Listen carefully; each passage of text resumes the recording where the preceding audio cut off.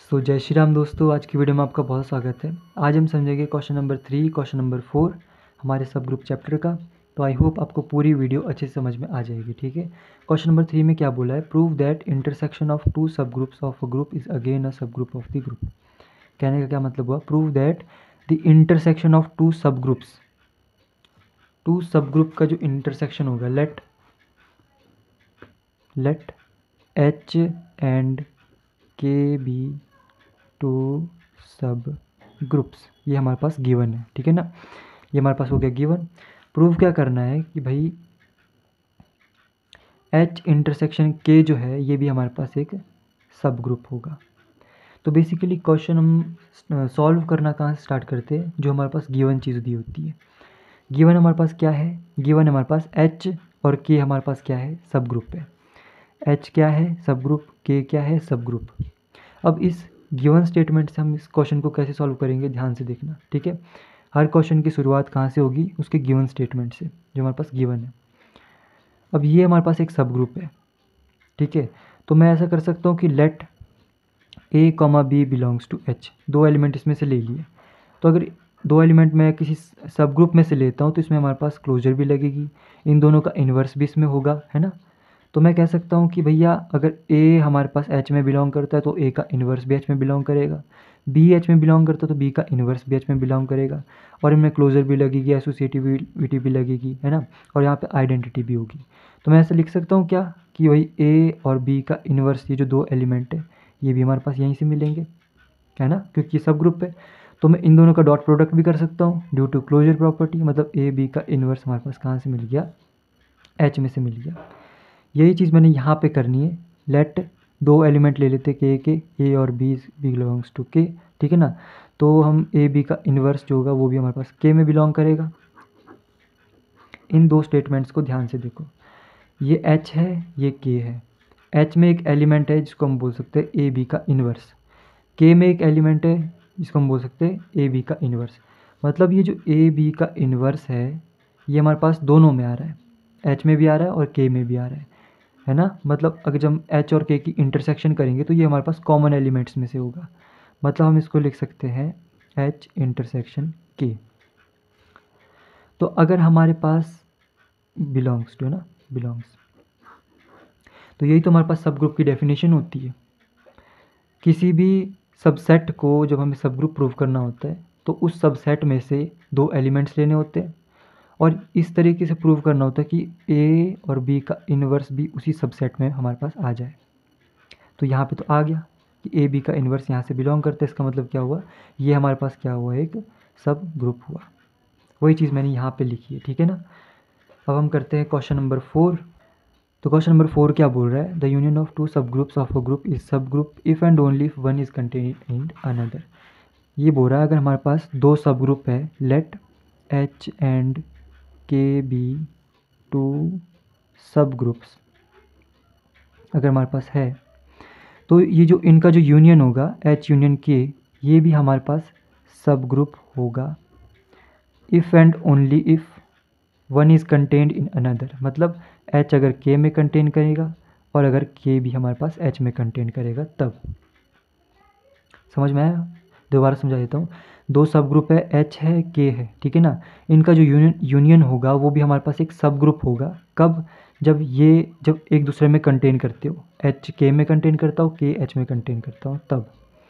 तो जब भी हमारे पास इफ़ एंड ओनली वाली कंडीशन दी होती है तो हम क्या करते हैं? नेसेसरी कंडीशन करते सफिशेंट कंडीशन करते तो यहाँ पे लिख लेते necessary necessary condition necessary condition में क्या करते हैं हम? जो लेफ़्ट हैंड साइड दिया होता है, उसको गिवन ले लेते हैं। लेफ़्ट हैंड साइड में हमारे पास क्या दिया है कि एच यूनियन के हमारे पास सब ग्रुप है। लेट एच यूनियन के सब ग्रुप ठीक है ना? इसको हमने क्या ले लिया? सब ग्रुप ले लिया। अब हमें टू प्रूव क्या करना है? कि एच कंटेंड इन के एंड के कंटेंड इन एच ये हमारे पास प्रूव करना है। तो इस चीज़ को हम कैसे प्रूव करते हैं? ध्यान से देखना। आगे वाले क्वेश्चन में भी सेम मेथड अप्लाई होगा मतलब सेम फॉर्मेट फॉलो होगा, ठीक है ना? प्रूफ करते हैं। ध्यान से देखो बेसिकली हमारे पास क्या है? हमें क्या प्रूव करना है? एच हमारे पास के में कंटेन करता है और के एच में कंटेन करता है। ये हमें प्रूव करना है। If possible if possible let H जो है के में कंटेन नहीं करता। एंड के भी एच में कंटेन नहीं करता। अगर ऐसा है तो हम देखते क्या होगा। जब हम इसको लेके सॉल्व करेंगे ना तो हमारे पास एक कॉन्ट्राडिक्शन आएगी। तो हम कह सकते हैं कि जो हमने स्टेटमेंट ली थी, वो गलत है। राइट स्टेटमेंट कौन सी है? वो है ये वाली, ठीक है?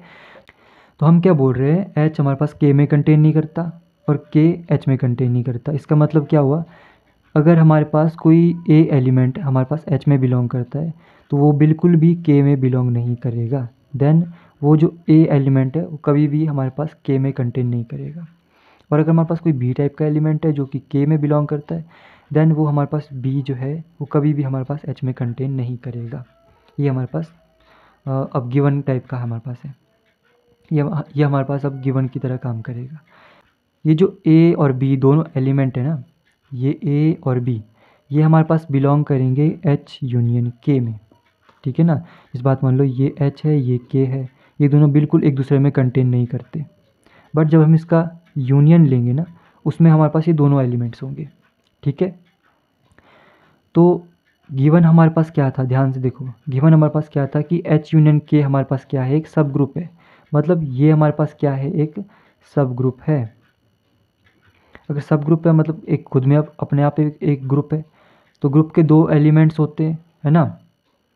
तो उनमें क्लोजर भी लगती है दोनों एलिमेंट का इन्वर्स भी होता है तो मैं कह सकता हूँ कि ए बी का इन्वर्स भी हमारे पास एच यूनियन के में बिलोंग करेगा। ठीक है? ये एक एलिमेंट है जो कि बिलोंग कर रहा है एच यूनियन के में। तो या तो ये एच में होगा या तो ये के में होगा। समझ में आई बात? तो मैं कह सकता हूँ कि या तो या तो आइदर आइदर ए बी का इन्वर्स हमारे पास एच में बिलोंग करेगा और या तो ए बी का इन्वर्स हमारे पास किसमें बिलोंग करेगा, के में बिलोंग करेगा। अब ध्यान से देखो यहाँ पर हमारे पास एच में बी कंटेन नहीं करता और के में ए कंटेन नहीं करता। एच में क्या नहीं कंटेन करता? बी। तो मतलब हम अब यहाँ पे इस बी को रहने देंगे, इस ए को काट देंगे। तो ए के इन्वर्स से मैंने यहाँ पे मल्टीप्लाई करवाया, ठीक है? अब देखो ये एच क्या है? सब ग्रुप है तो मतलब ए का इन्वर्स में मल्टीप्लाई करवा सकता हूँ, ठीक है? तो ये हमारे पास बन गई आइडेंटिटी बी का इन्वर्स हमारे पास एच में मिल गया बी का इन्वर्स एच में मिल गया तो मतलब बी हमारे पास किसमें मिल गया? एच में मिल गया। वही राइट हैंड साइड हम देखते हैं कि भाई के जो है उसमें ए नहीं है तो हमने ए ही रखना है इधर। तो ए बी का इन्वर्स इसमें हम बी बी का मल्टीप्लाई करते हैं, ये हमारे पास किसमें बिलोंग करेगा? के में। इस बी को मल्टीप्लाई कर रहा है इसलिए करा क्योंकि के हमारे पास सब ग्रुप है तो सब ग्रुप में क्लोजर प्रॉपर्टी लगती है, इसलिए मैंने बी को मल्टीप्लाई किया है, ठीक है ना? तो ए इंटू में आइडेंटिटी बिलोंग्स के तो हमारे पास ए कहाँ से मिल गया बेसिकली के से हमारे पास मिल गया। जो कि हमारे पास कॉन्ट्राडिक्शन होगी, हमने तो बोला कि भाई ए कभी भी हमारे पास के में नहीं मिलेगा, है ना? और बी हमारे पास कभी भी एच में नहीं मिलेगा, ये तो कॉन्ट्राडिक्शन होगी।